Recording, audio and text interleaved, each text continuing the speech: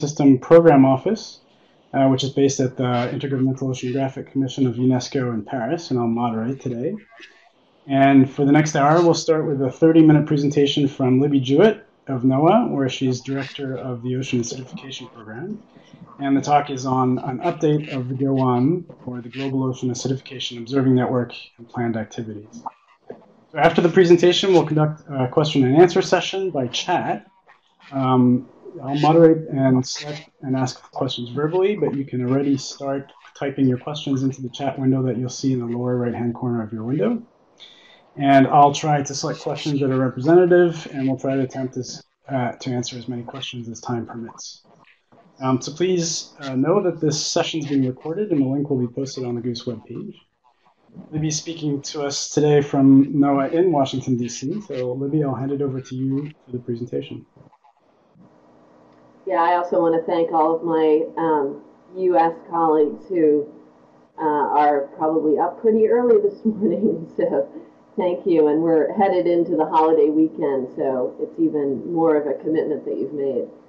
So first of all, um, so yes, I am Libby Jewett, and I'm at NOAA, the National Oceanic and Atmospheric Administration in Washington, D.C., and I'm director of uh, NOAA's Ocean Acidification Program. Uh, before I get started, I do want to thank um, Albert Fischer and Forrest Collins and others for from the Global Ocean Observing System um, office for inviting me to speak here today.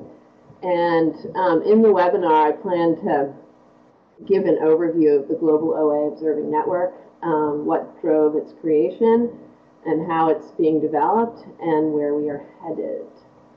So without further ado, um, I'm actually not going to be presenting a lot of science today, but I figured since we are talking about ocean acidification, we better get everyone on the same page about what we mean by that. So um, ocean acidification is a phenomenon that is driven by rising levels of carbon dioxide in the atmosphere. Um, as so, this uh, particular slide is um, pulled from the IPCC AR5 report, and uh, I'm sure many of you are familiar with it. And so, um, in the top um, graphic, you're seeing rising CO2 levels in the atmosphere over time. Um, and then the middle one, we're actually seeing as CO2 goes up in the atmosphere, um, a reduction in pH over time in our surface waters around the globe. And even below that, we're seeing a reduction in the availability of the carbonate ion. And so just to reiterate, um, carbon dioxide is an acid gas. Uh, and so as it goes in the atmosphere, it's actually naturally through diffusion taken up by the ocean. And uh, CO2 combines with water, forms carbonic acid. Um, it's a weak acid which throws off hydrogen ions, thus the increase in hydrogen ions or increase in acidity or decrease in pH um, of our surface waters. And this is, I'm going to go into some of the more complicated aspects of this shortly, but that's just a, a short refresher on um, the changes that we're seeing. And, and this information is quite well documented um, in the recent AR5 IPCC report. So um, we like to use um, this term that uh, OA is a global condition. It's obviously affecting oceans around the world. But where the rubber hits the road is that um, uh, uh, we're trying to figure out, you know, what the effects are going to be for uh, people who live in places. Therefore, um, you know, trying to figure out the local effects of um, of ocean acidification around the world. So, um, as we know, marine ecosystems and people um, tend to hug our coasts. And so one of the intents of this global OA observing network is to build something that not only is documenting um, the global change, but is also trying to drill down and figure out what the local ramifications are going to be. And so along those lines, uh, one thing I like to note is that as we get closer to our coasts, the chemistry gets more complicated. And I think over time, uh, since this large OA effort, global effort has evolved, we're actually getting uh, better understanding of what happens. But um, as you approach the coast, the chemistry is complicated by inputs from land. And as you see on this graphic, on the left, we talk about river inputs. Uh, we also talk about all of the biological activities um, that happen along the coast. Uh, we have coral reefs along the coast. We have algal blooms along the coast. That's where fish live. And so, um, as you talk about, you know, river inputs, you're also talking about nutrient inputs, which spur a lot of those activities, and all of this can have ramifications for um, the carbon system and the distribution of um, the different uh, carbon species. So, uh, and and an important thing to note about that is that you know, as I said, CO2 goes in the water, combines with water, and creates carbonic acid. Um, but it also, you know, we're seeing an increase in bicarbonate ions, increase in hydrogen ions, decrease in um, carbonate ions, and um, a decrease in alkalinity. And so, um, between all of those uh, factors, any one of those can have ramifications for the biology. So, I just wanted to note that this is um, uh, more complicated than just an effect on, on pH levels. So it's our conviction, and this is a graphic that I'll come back to, um, it's our conviction that uh, we need to look you know, from the global scale to the local scale. This is a um, map that you can find on our website, and I'm going to bring this the web URL, up a few times because I'm hoping uh, that you all will take the time to look at this uh, incredible website that we've put together. But um, that we, you know, it's our conviction that we need to monitor OA and its impacts from the global to the local level. And so now I'm going to um, segue into the, the, creation of the Global OA Observing Network.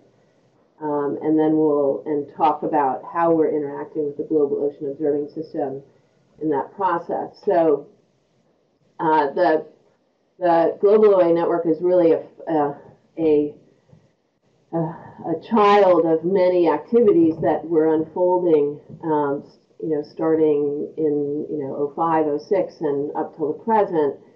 And so this is a graphic that you can actually find in the, in the plan that we've put together. And so, you know, a combination of, um, you know, GOOS putting together its framework for ocean observing, and the GOOS work with the International Ocean Carbon Coordination Project, in addition to the the OceanObs Symposium um, that happened in 2009 that had a number of important papers on ocean acidification, in addition to the SOLAS-IMBER um, creating an OA working group, and then the creation also of the International Coordination Center on Ocean Acidification in 2012. All of those things, all of those entities kind of were, were together combining to create this um, this push, this interest in creating some sort of ocean acidification observing network.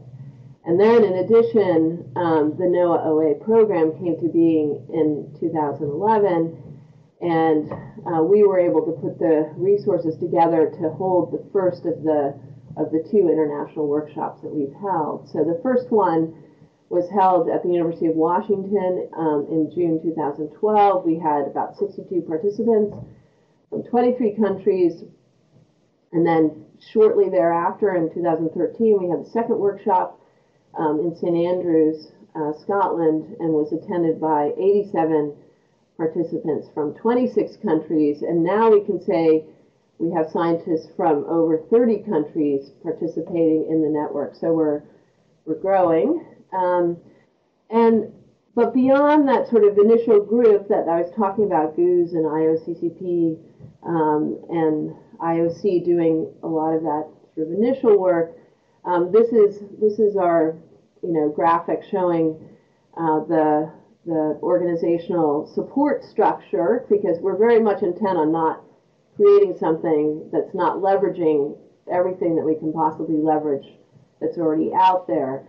And to the focal point, the the core um, graphic in the middle is to say you know, the network wouldn't be possible without the work of important work of our scientists and the important funding that comes from our national funding sources that are supporting those those scientists. But in addition, as, as noted before, we have the IOCCP, IOC, GOOS, um, GEO, IAEA, the OA-ICC, and then a whole, you know, even other sort of peripheral groups that are supporting our work, and we're, we're leveraging all of that. And and I encourage you, if there if there are other groups that we don't have represented currently in this graphic, but you think need to be at the table, um, you know, I encourage you to bring that forward to us, uh, you know, soon. So um, this is this is to show the that our uh, evolution process is um, quite uh, parallel to the process that has been going on in the framework for ocean observing, the process put together by the Global Ocean Observing System. And um, so, like GOOS, our process started with the establishment of societal or scientific requirements for observing and monitoring, and, and much of this has happened within our workshops, but also in side conversations and in those preliminary documents that were put together for OceanObs 09. And so, starting with those scientific requirements, then developing strategy for implementation, that's kind of you know what we're doing now. Um, we've been trying to broker international agreements and you know leverage again with other groups and other countries. Um, but but actually, in that brokering international agreements on measurement standards and procedures, I'd say that we're really relying on the Global Ocean Observing System and its panels that are putting together the essential ocean variables and the require measurement requirements for those across platforms. I think we'll be we will be relying on on GOOS to establish those more specific requirements. And if you had a chance to read our plan, you know, what we laid out there is a little more general. Uh, we're, we're working on data quality control procedures, um, but also working through FUSE to do that. We're thinking about data synthesis products, which I'll talk about in a second. And then, um, you know, obviously working with our stakeholder community um, as well. And again, this is just to reiterate that we feel that the, the real importance of creating this global OA observing network is that we want to provide data that goes down to the local level, um, that's being collected at the local level, but integrated, you know, at the country level and then at the regional level and then to the international level. And much of what we have now is data that's being collected in international waters, but, you know, the intention is that we will get all the way to our coast because that's where a lot of the blank spots are when we try and look at the global picture. So, so far the OA community has defined the rationale, design, and locations of components for an international acidification observing network, um, very much taking into account existing activities. Um, we've defined a minimum suite of measurement parameters, um, uh, basic strategy for data quality assurance and data distribution. And again, they are very much relying on what the carbon community um, has done over the past decades. I know that they've been wrestling with the data quality aspects um, and making sure that people are measuring things in the same way um, and that the metadata is um, very ample uh, and so we, we want to recognize those efforts. Um, we're not trying to create something new. We want to leverage that. And then what the requirements are for international for international integration. And in the first meeting, we, we came out with our basic three goals for the network. So goal one is to um, that, it, that the network provide an understanding of the global ocean acidification conditions, um, and this is very much focused on the chemistry. You know, how is the chemistry changing? What are the spatial um, and temporal uh, variability of, of uh, ocean acidification? And you know, this chemical part of, is actually also um, has a biological component because, as we know, as biological activity happens, um, it also affects the chemistry. And so there's there's a little bit of a back and forth there, which I'll go into further. And then goal two is to develop, use, and document and develop an understanding of the ecosystem response to ocean acidification by um, by developing a system for understanding the biological response. And, and we are wrestling with that a little bit right now, and I want to give you some more specifics in a second. And then make sure that the data that we're collecting is um, most useful for modeling because we're going to need to forecast out where we're headed. And so um, we definitely recognized from the beginning that we're talking about uh, very variable ecosystems that we're, we're, we needed to cover how we're going to how we're going to expand the network um, in open ocean systems from polar to tropical that we're talking about coasts and estuaries that we're getting you know very close to the coast and um, that we need to develop recommendations for coral reef ecosystems. We also, as I said, very much are building on what already exists. So we're uh, knitting together observations from a variety of platforms, um, from ships to moorings to alternative technologies to um, you know simple bottle collections and, and analysis um, in labs.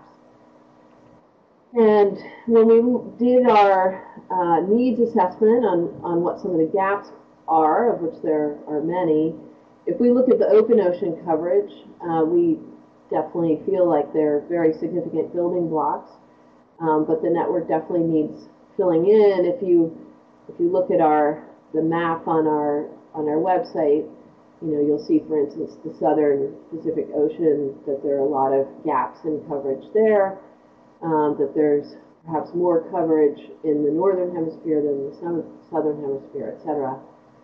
Um, if you look at our coasts and shelf seas, on the global scale, we definitely need construction. On again, on the regional level, there are some fairly well-developed systems, uh, but there are many gaps. And then for coral reefs, again, you know, you know, large areas like uh, Western Pacific Ocean Coral Triangle area that very much needs construction, but on the regional scale, some there are some systems that are more developed that we can use to export and those measurement um, technologies to, to other regions.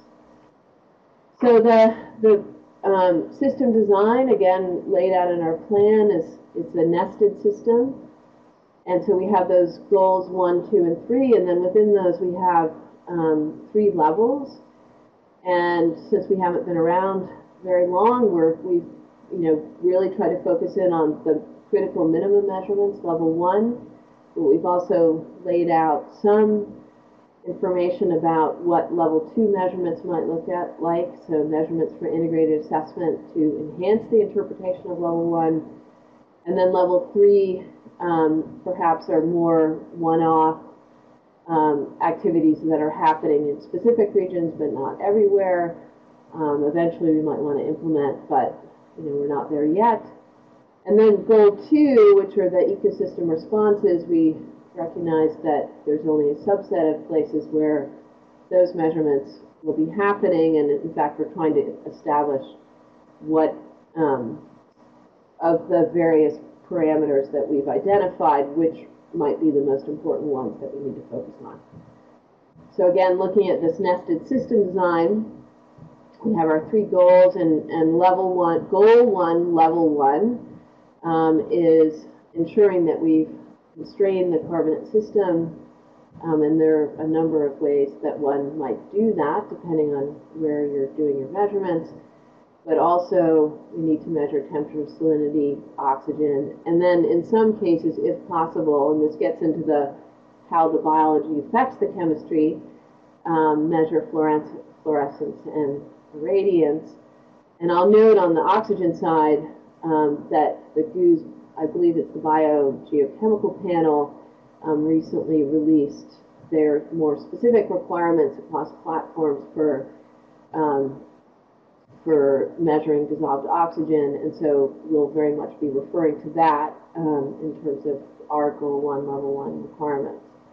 And then now I want to um, segue into the bio biological side. So we have goal two, level two, and some very um, basic measurements. So what's included right here in this graphic is something that uh, was um, arose across the different kinds of ecosystems as a measurement that we might like to make. That is the biomass and abundance of functional groups in the pelagic um, waters, so phytoplankton, zooplankton, and microbes, although that doesn't give you a whole lot of guidance. So that's why we're still working on this. Um, and so I'll get into biology in a sec. I do want to say that we have defined two data quality objectives. Um, one is climate data. So I think in our plan we say plus or minus 1 um, estimation of the carbonate ion concentration. So that's the definition of our climate data. So of sufficient and defined quality to assess long-term trends um, with defined level of confidence. And then the, we have another level, which is weather data, and so that's plus or minus 10% um, in the measurement of, or estimation of the, or calculation of the carbonate ion concentration. Um, and our, uh, this is important because, you know, we're going to have, especially as the network grows, we're going to have uh, more and more new scientists coming to the um, be included in the network, and we wanted to give um, you know enough leeway there to for them to be included, and but even if they couldn't reach the climate level um, level of data, however, we also recognize that this weather data um, quality weather data um, is also useful, you know, depending on uh, what the ramifications or impacts uh, might be along a particular coast. So we didn't want to throw that out. I think it's um, in some cases very useful. In fact, something that we use along um, the U.S. West Coast in our um, adaptation strategies related to our oyster industry. So, and I can go into more details if people have questions about that. So one thing that we have established that's new is we within the GOA-ON is a biological working group, the biology working group, which is headed by Sam Dupont from the University of Gothenburg in Sweden. And um, this is a fairly tall task, um, but we have, or rather, multiple tasks are involved. And so they've set out, um, and together with the executive committee of the Global Global Observing Network have set out these three tasks, which is one, to ensure that the um, chemical monitoring program is meeting the information needs of biologists. They're trying to look in, in particular areas where we are already doing chemical monitoring to figure out whether that information is, is useful um, to interpret the biological response. Task two is to evaluate the needs and requirements of a biological monitoring program. That's a rather larger task. And actually, we'll, we're hoping that this working group will provide the framework that we can then discuss at our third international GOA-ON meeting, which we'll, I'll mention shortly. Uh, and then task three is um, to think about developing a theoretical framework for linking chemical changes to biological response, um, perhaps to um, be able to develop sort of mapped synthesis products um, that may forecast out where biological responses may be seen first. So um, I can go into a little more detail if that doesn't make sense. So now I just wanted to sort of quickly show some of the um, end member measurements that we came up for the various types of ecosystems in terms of the biological response with the hope that you biologists who may have joined this webinar um, can think about this and, and participate in our discussion. And so um, for polar seas, some of the, um, the basic measurements that, that we see as will be responsive to the chemical changes are phytoplankton and zooplankton biomass and abundance. Again, you know, we haven't given species names or um, specific types of zooplankton, so there's some work to be done there. Um, we have sunlight, phytoplankton functional types, and particulate inorganic carbon as some particularly important things to measure. Um, for tropical seas, again, some of the things, what's ever grayed out has already been mentioned for another type of system, but we also, for tropical seas, will need, or biologists consider it important to measure turbidity, CDOM, and size fractionated chlorophyll. For temperate seas, again, some of the, the other end members, but also calcified to non-calcified plankton abundance. And for nearshore and estuaries, not only phytoplankton and zooplankton, but benthic producers and consumers abundance in biomass, um, total suspended solids and nutrients. And then for coral reefs, uh, again, because there's a much even closer coupling between um, the biology and the chemistry, is in order to interpret the chemistry, we need to understand better the biomass of biota, and that will be corals and coralline algae, other photosynthesizers, um, in addition to changes in net ecosystem processes. And then in terms of looking at how the biology is responding to the chemistry, um, we have to, you know, there are a whole range of potential end members that might be responding, um, all the um, calcifying organisms, um, in addition to the net neck ratio, and then the um, the habitat, you know, looking at um, how the habitat is changing in response. So now, um, just want to, so so now that you're thoroughly confused, um, now I, I, now that you have more information about what we're doing on the biology, I want to give you some updates about the global network, and then we can move to questions. So. Uh, in the last year, we've established the terms of reference for the Executive Council, and I'm going to show you the names of the folks that are on that council.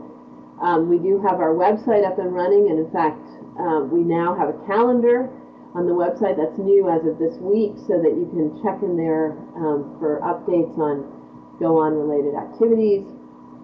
We are conducting um, regular communications through a quarterly newsletter and I encourage you to become a member of GOA-ON. That's a very simple thing, and I'll tell you how to do that um, so that you can receive our newsletters, which are sort of giving broader updates on our activities. In addition, um, the International Coordination Center on OA has sponsored a data management and data portal meeting, which just happened in June. Um, and we, the ICC will also be holding a data synthesis workshop planned for September. And so, um, again, on the data synthesis side, I'm going to talk about that a little bit more, but want to say that um, we are looking um, for broader input on what kind of synthesis products the community thinks would be useful. And on the portal side, um, you know, I think something that distinguishes the GOA-ON from GOOS is that we actually have it in our plan or in our intentions um, to create a data portal that would uh, provide access to uh, data more readily and easily in compatible formats um, from databases from data centers around the world. So we're not creating a new data center, we're creating a portal that will feed, that will pull data from the data centers. And another intention or idea um, might be that we could provide even real-time OA data, which is something that we're doing along the U.S. West Coast. And I'm, this is something um, that you can get to with that URL on the bottom of the slide um, that's been put together by one of our regional associations of IOOS called NANOOS. Um, they've done a fantastic job with uh, providing a specific portal um, to real-time ocean uh, ocean acidification information from a number of observing platforms along the west coast. And so, you know, this is an idea, um, but at the very least, um, you know, kind of a basic framework for for um, how to think about a portal as we move forward. And so, when you go into our website, you'll see this map of our various ocean acidification assets and but you know that's what this is. This is an inventory now of the of the assets that exist and but it's not the data. Um, but it's important because you know there's information here uh, that you can access and I just wanted to show so if you if you mouse over any one of um, those platforms whether it be a cruise line or um, one of the, the you know triangles or, or dots, um, it, what will pop up is information about who is collecting that um, OA-related information, um, uh, if they have a website, where that website is, um, and the types of, um, of parameters that they're collecting on, you know, what time scale. And the, the red are current moored observing assets. The um, triangles are uh, time series stations. Uh, the green are ships of opportunity that have been outfitted with OA parameter. And the blue are the large repeat hydrography or GO-SHIP lines. And so one thing that, again, I want to go back to that idea of data synthesis products, um, something that uh, some of our NOAA colleagues here have been working on is a, a climatology for aragonite saturation state based on um, the larger open ocean uh, data sets, GLODAP and CARINA, and there may be another one involved there.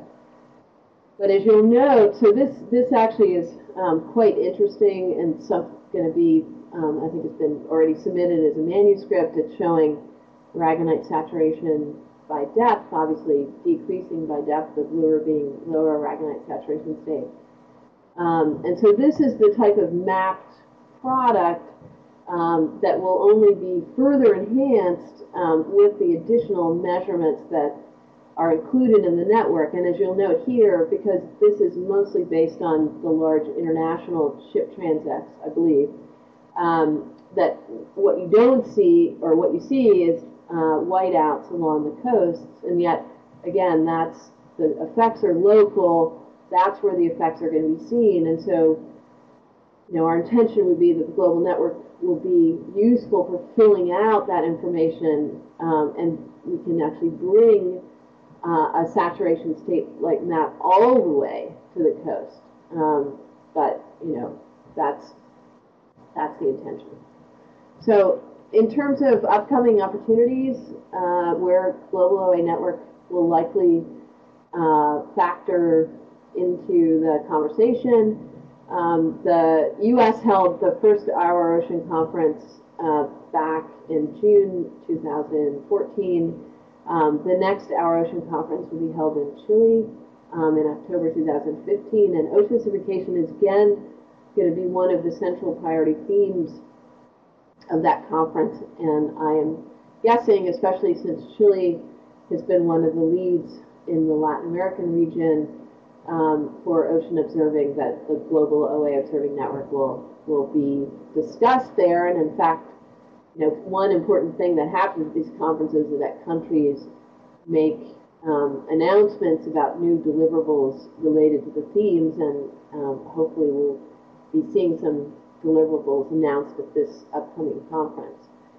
Secondly, the first, so we have something um, exciting to announce, which is that we have a um, a group, an affinity group that has raised funds to support the network called the Friends of the Global OA Observing Network. And this Friends of the Global OA Observing Network is um, overseen and, and led by the, the Ocean Foundation, which is based in the U.S. but has sort of international reputation. And as a result of the last Our Ocean Conference, they raised uh, some funds from private foundations, and we are just moving forward on the first of those investments, which is going to be a capacity building workshop along the coast of Mozambique.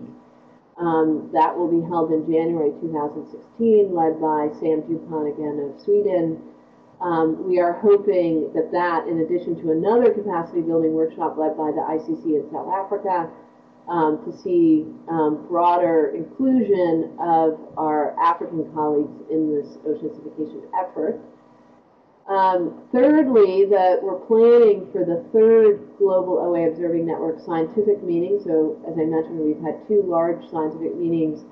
Um, for the third one to happen after the next Oceans in a High CO2 World meeting, which is planned for the 3rd to the 6th of May um, in Hobart, Australia. And so that meeting ends on Friday, and the intention is the GOA-ON scientific workshop will start on Monday or Sunday or Monday um, of right after that. And, and the focus will largely be on this biological observing component. And then finally, I want to say that the U.S. is now chairing the Arctic Council.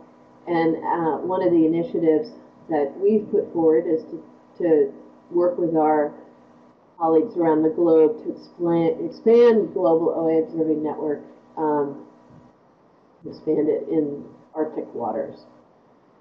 So, and then some of the future needs, um, we're trying to, again, use the network to expand scientific capacity in underserved regions. We're working very closely with the International Coordination Center and the IAEA to do that.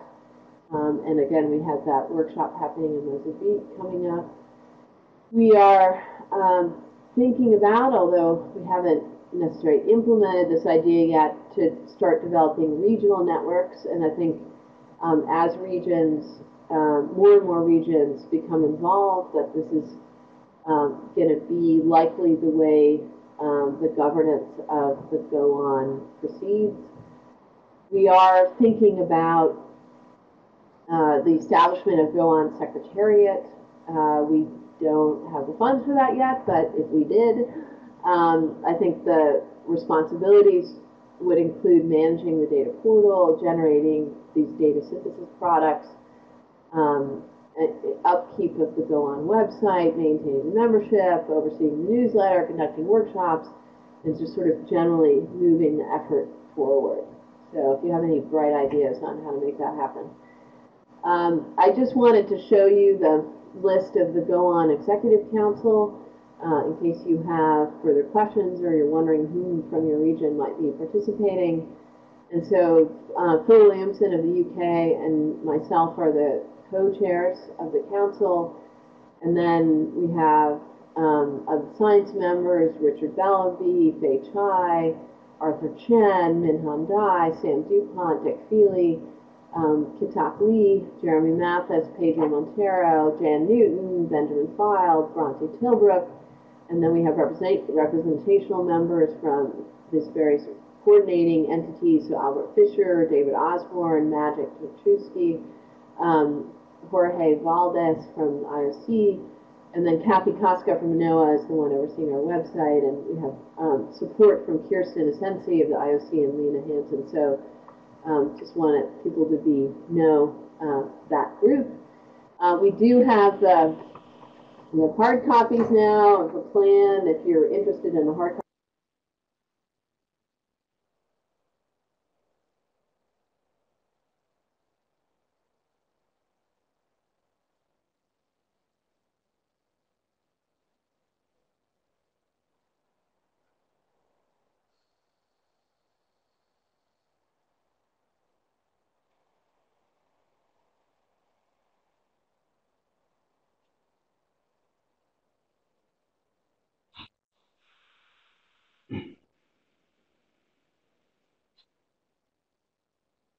Copy, you can get that, although you can also download it from our website. Um, I want to thank uh, Jan Newton for all of her hard work on the On plan, making sure that it, um, it actually got finished, uh, which happened this past January, and to the ICC for printing it. Um, and then, uh, you know, this is a screen capture from our website. You can uh, go in and do some interaction with our uh, with our map. Um, you can download the plan. Um, you can look at the list of network members. You can have yourself added to that list. And, and I want to reiterate, we are not a, a governmental organization. We are a network of scientists. You know, whether we eventually morph into something that's governmental, I don't know. But right now, um, you know, the price of membership is just saying that you want to be part of it. And so I just want to end by giving all of you our email contacts if you're interested in or know of foundations or private donors who want to contribute to the GOA-ON. Um, I've given you Mark Spalding's contact information from the Ocean Foundation. Um, if you're interested in receiving the newsletter and becoming listed on our website as a member, if you can contact Erica Ombres. And then um, for the website, um, if you are aware of observing happening in your Thank you very much, Libby. And let me just uh, start by congratulating you and Phil and all the other members of the network for quite a dynamic uh, um, there is a activity the last few downloadable uh, Uh, We have a couple of fillable questions, but let me uh, start. form that you can get off the website, and Yeah. that needs to go back to Um, Tosh which Tech. is about, Um, and the more complete we have that map as we move into that data portal um, concept side, yeah, can you hear me better now? uh, the the more quickly we'll be Okay. able to do that if we make Good sure that that there as well. is to date. So, um, So on I just wanted to start with a general question, which is about um, about why we're interested in ocean acidifications, particularly because of its potential impacts on ocean ecosystems. Uh, but ocean ecosystems are also um, subject to different stressors, such as temperature, such as lack of oxygen, nutrients you mentioned at the coast. So when you talk about the second goal of GOA-ON, h- how do you observe the individual impact of stressors on, on ecosystems, the individual impact of ocean acidification? And what's the role of, of laboratory experiments in supporting that kind of work?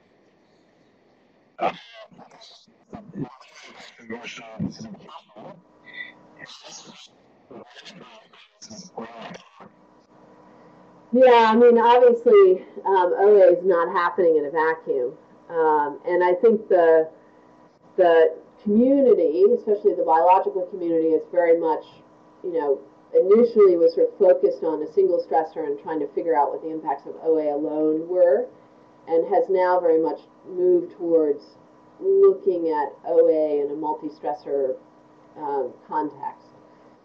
Um, and I, I mean, I think the feeling of the, the GOA-ON community is that the experimental, um, experimental work is critical because we're not going to be, we need to be able to document um, what's happening initially in the lab before we start trying to monitor things in the field. I think people won't really um, won't believe that we've chosen the right parameters unless we've been able to show some response in a controlled setting. However, you know, obviously we're also going to be measuring temperature and oxygen in addition to the carbonate system um, in the field, and so, you know, we're going to have to we're going to have to account for those other stressors as well. In fact, some of the, the biological experimental results that we're seeing now are showing that, you know, when when we do measurements, when we do All right, well, so that's, that's actually quite an interesting concept that the different stressors don't add linearly and can have and using temperature uh, interactions with each other. So we have a couple of um, uh, they have one questions, and I, I, I encourage all the participants to please ask questions through the um, chat. you actually get more than the combined. So let's take uh, Rick Wanninkhof's question, um, which is about the formal interactions um, and I think it agreements between the important to be International Coordination Center, the OA-ICC, sponsored by tease that out IAEA, in a laboratory and the level before we take IOCCP, it to a- GOOS, and IOC. take it to a field level. So I don't, I don't know if that is answering the question.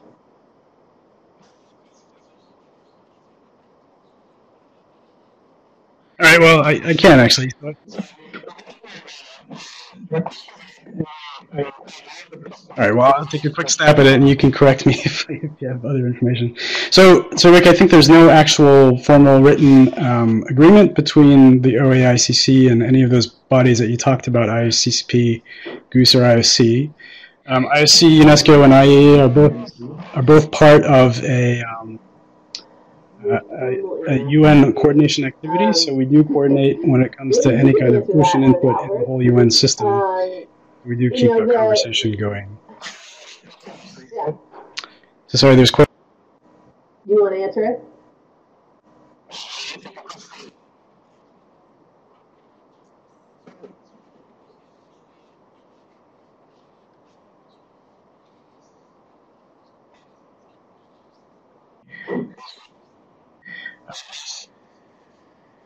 Yeah,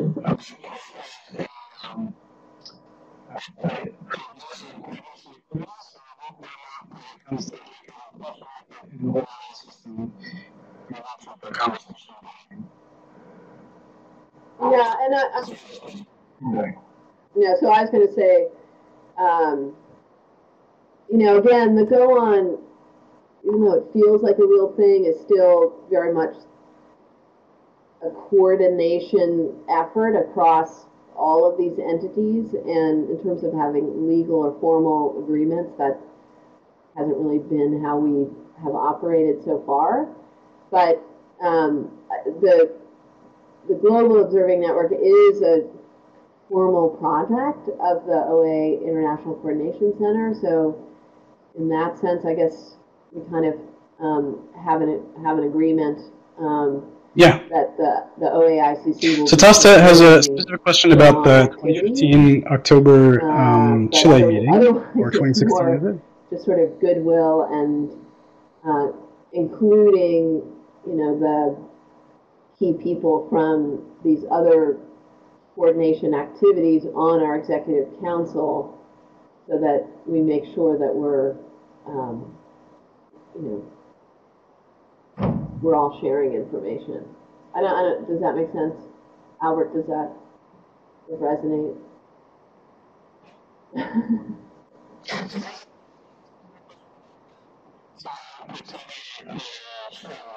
uh-huh. Uh-huh. Yeah, so the uh, yeah, I mean, I, I don't have a lot of details. I believe it's planned being planned for the first week in October um, in Chile, in Valparaiso, Chile. Uh, I believe that's going to be the site, and the details are kind of, you know, slowly being um, developed. We were um, very excited that the that they decided to continue with the same three primary themes that were put forward in the first. Um, oh, he wrote. So it's definitely 2015. October 2015 is when this Chilean conference is happening. Now, the Hobart meeting, which is when the next GOA-ON workshop will be, is May 2016. So I just want to clarify that. But the the Chilean conference is if it's anything like the State Department, our U.S. State Department conference was this past June, it tends to be or, or was very focused. So we, we have a question from India from MMLE, which is uh, very basic and perhaps is something that will be talked about in this Chile conference, which is how do we curtail ocean acidification? It wasn't sort of open to anyone who wanted to go. I don't know how the Chilean one will transpire um, exactly, but we but the focus, the three themes are ocean acidification, um, uh, marine pollution, and sustainable fisheries. So those were the same three that that the U.S. Our Ocean Conference focused on. Yeah.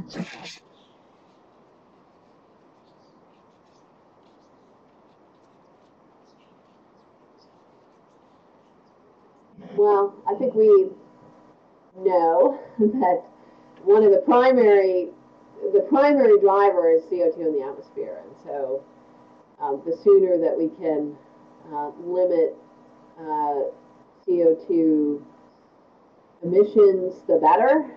Uh, and uh, the Global OA Network, in addition, just sort of ocean acidification information in general, I think is going to factor fairly strongly in the um, Conference of the Parties meeting in Paris of the UN Framework on Climate Change coming up in uh, December 2015. So, you know, that's that is obviously the um, the overarching intent is to make sure that the information that we're learning about ocean acidification and its impacts is fed into those larger global You didn't speak about it in this talk. There's a, quite an interesting example from the Pacific Northwest of real-time ocean acidification monitoring and some real um, impacts on industry on the on the mariculture industry. Is that a kind of unique example, or is this something that can happen in other environments around the world where there's big variations in ocean? also, you know, reducing emissions of acidic, acidic gases from our from our industries along the coast might be another.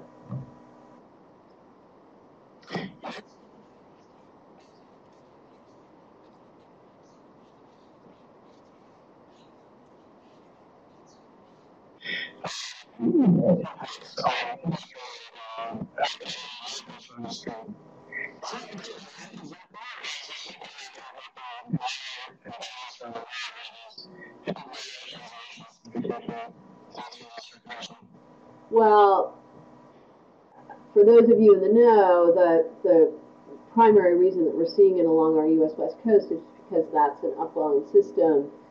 Uh, and we know that there are many upwelling systems around the world. Unfortunately, we don't have as much information about how OA is playing out in those systems. However, um, we are getting indication, which is why it's um, uh, important that the meeting's happening in Chile. Um, Chile is also a coast that experiences upwelling conditions, and there's some indication that the shellfish industry, shellfish hatchery industry, in some of those in Chile are already experiencing problems that are related to corrosive waters. Um, and a, a, whole other region, obviously, that's an upwelling system is along the west coast of Africa, which is one of our intents is to make to see if we can get more information about what's happening in Africa, um, so that we can be providing them with information that might be related to their um, marine resources. So you mentioned Africa, so let me take the question from Bjorn so Fielder, which is, uh, is there more information already about the African capacity building workshop in Mozambique? And will it starting in 2005 or so, um, and we've been able to bring it back, and we want to make sure um, that we're sharing that information with other regions that are potentially vulnerable in the near term um, by developing technologies that um, that other that other places can um, use.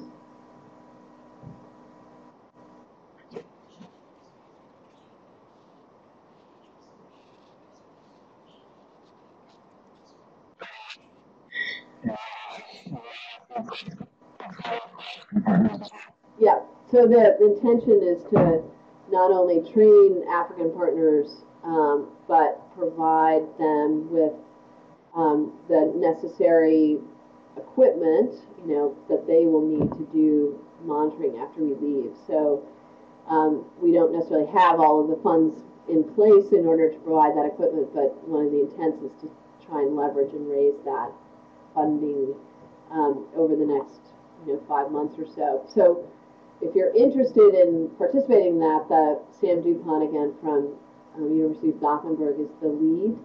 Um, however, there's that other workshop which is happening prior, I believe it's in November, December 2015 in South Africa, um, and uh, Lisa Robbins from. So there's um, a question about data, and general questions actually about data. To appear on the GOA-ON map, do you have to share your data? Her contact information. She's actually um, spearheading that effort on behalf of the International Coordination Center.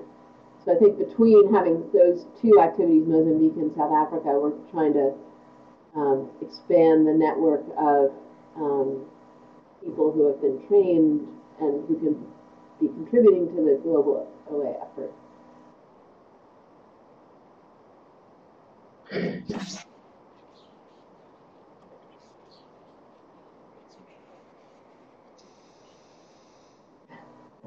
Well, that there's very strong um, push and understanding by the scientists that have come together for the Global OA Observing Network that um, access that access access to, to the data is key. That that to be to participate in this effort, the data must be publicly accessible. Now I know that some regions don't necessarily have data centers that are the clear go-to data centers for their data.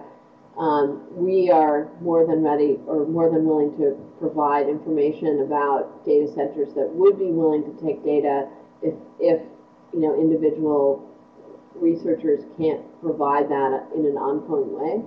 but yet, no, I mean, um, I don't know at this point uh, if we look at the map because we're only beginning that data portal um, process, uh, whether in fact all of that data of all of those uh, um, points and lines on the map is publicly accessible right now but the intent is that. So you mentioned the data portal and also um, the fact that there are other centers, if you don't have a, da a data uh, center in your country or locally, that are willing to accept the data. How, how many? that you need some time to do the QA/QC of the data, um, and and and also to give PIs who spent a lot of time and effort to collect that data, um, give them time to to work up publications, but then after that point, it should be publicly accessible.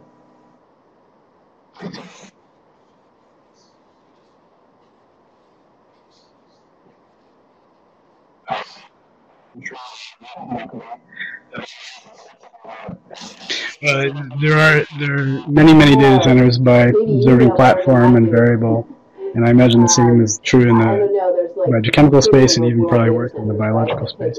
But maybe I was, going to ask, are there, for all of the, the variables that you've advocated for uh, in the different regions and open ocean and coastal areas, are there standards uh, for how to take that up? Is the World Data Center, perhaps? But you, Albert, do you know how many there are? I, I'm not a data person. For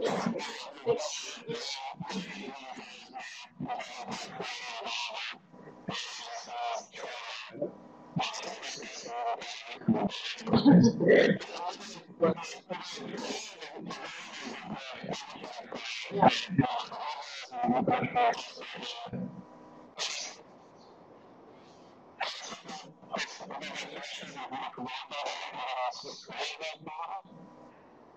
Well, no, and that's GOOS to be helping us develop the standards.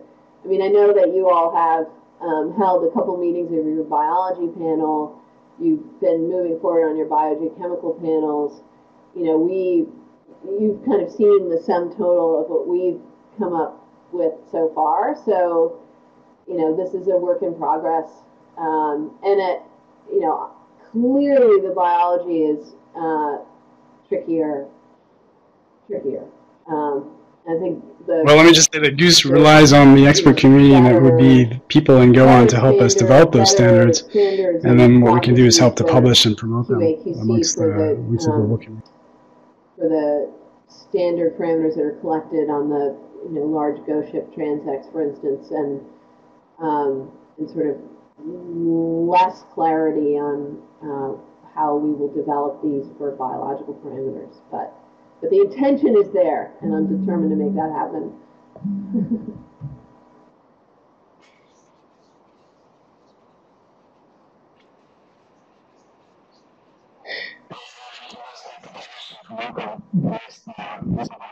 and so, for instance, no, I was going to say in our in that next meeting and uh, that we'll have after the Hobart you know, in, in Hobart in May 2016. And I found it um, interesting this analogy you had between climate quality data and weather quality data for OA in terms of being able to really say how OA is evolving over long periods of time versus being able to understand local and immediate OA dynamics. Is that community to understand what the next steps are to move that into that um, deliberative process that you all go through that's so important.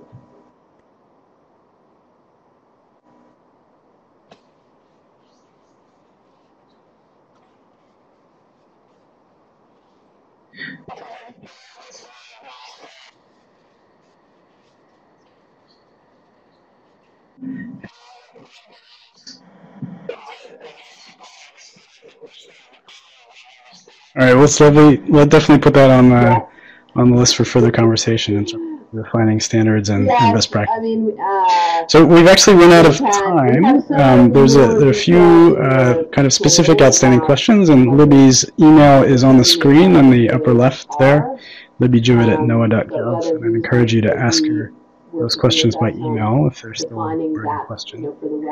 And then I'll end by thanking thanking Libby. Thank you very much for your time and for the effort you have uh, put into into making GOA-ON a, a dynamic community. And that'll be it for this webinar today. Our next webinar is from uh, Bernadette Sloyan, will be about GO-SHIP repeat hydrography. And the date and time will be announced via, via the GOOS email list. You can sign up to our email list on our website. Thanks very much, Libby.